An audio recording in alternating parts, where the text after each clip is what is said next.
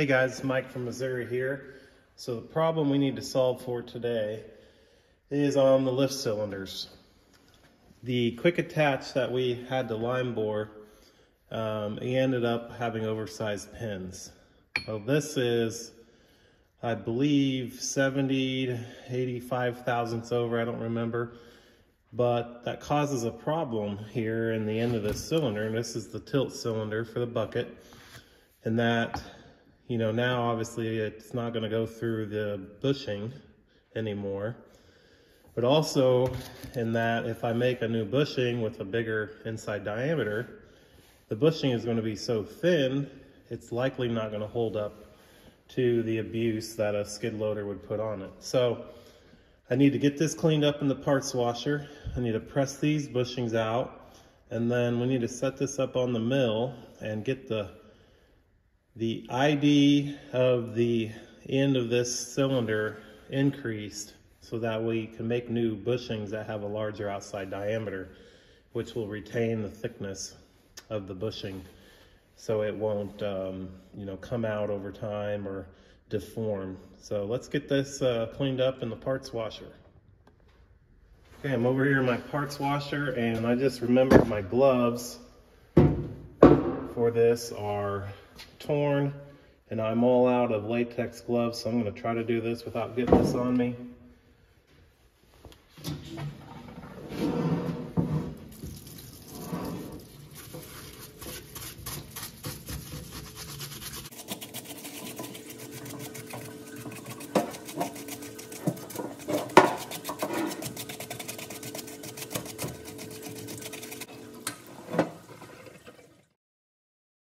All right, I'm over here on my homemade press. I'm going to set this cylinder up to press these bushings out here.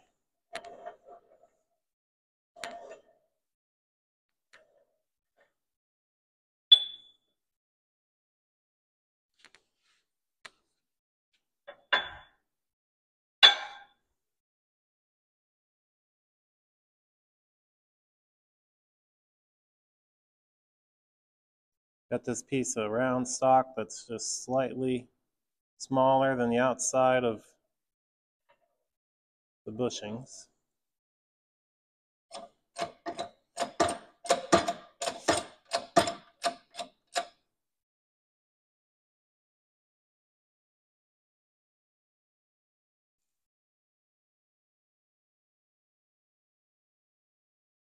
A bigger.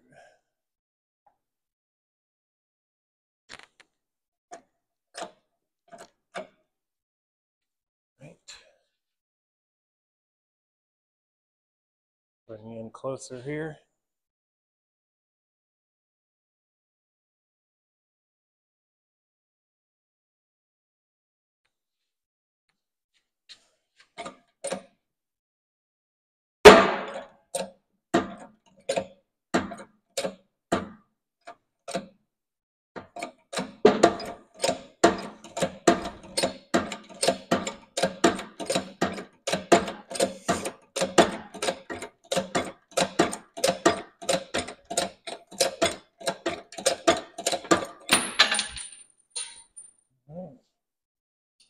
Them out.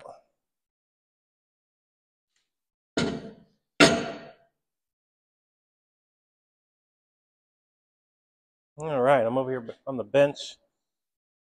I just measured this bushing that we pressed out. Measured 1.252. So two thousandths over one inch and a quarter.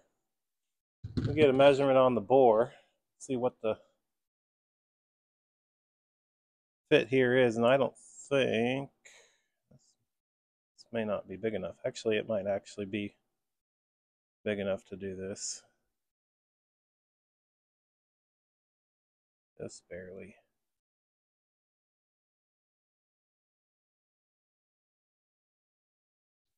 Do this a couple times.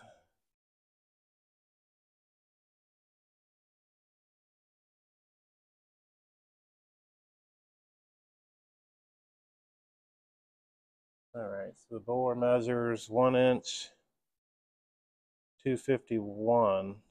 or just under one. So we got about a one and a half thousandths press fit between the bushing and the housing here.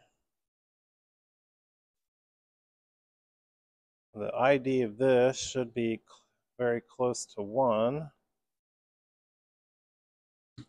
Our new pin OD, I believe is about 70 over or 85 over.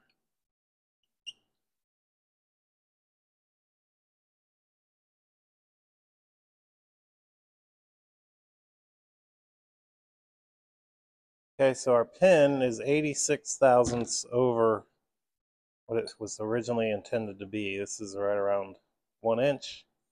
This is one inch, 86 thousandths. I'd like to increase the hot size of this cylinder end by about that much so we maintain the thickness, the wall thickness of our bushing here. So let's get this set up on the mill and we'll bore this out.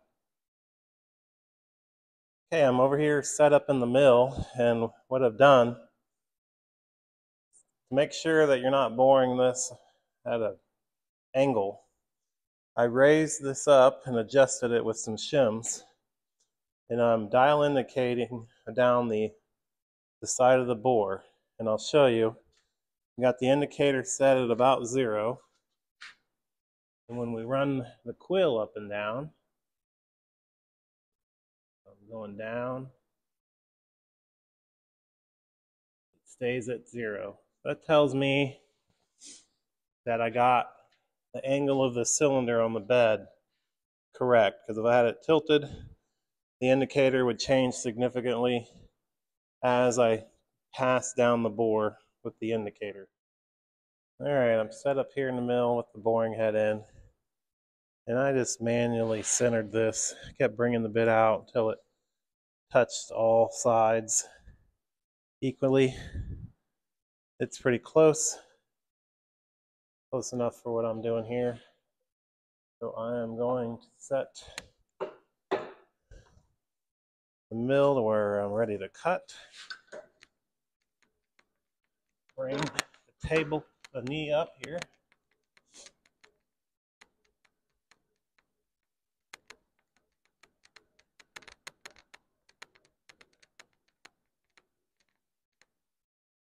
Lock everything down except for the knee. Get you guys adjusted so you can see. Then I'm going to take the first cut here.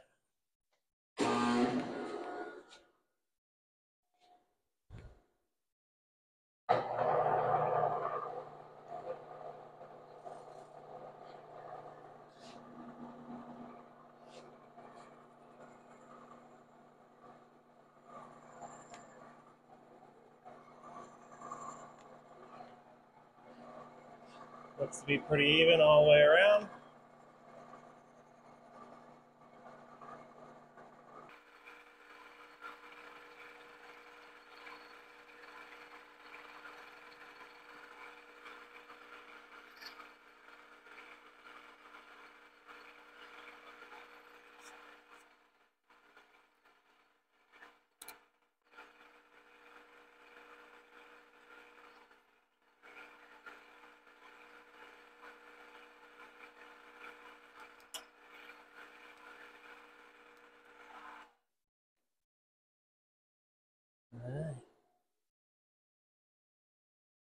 I went pretty quick on that because it's just a rough cut. I need to take about 80 thousandths off here. I'm going to adjust the boring head out.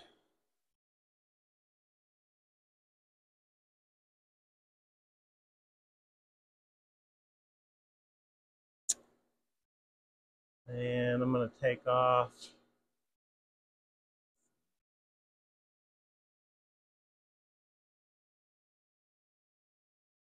that's 20 thousandths right there.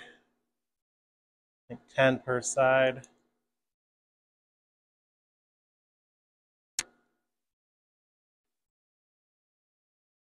I'll make another cut.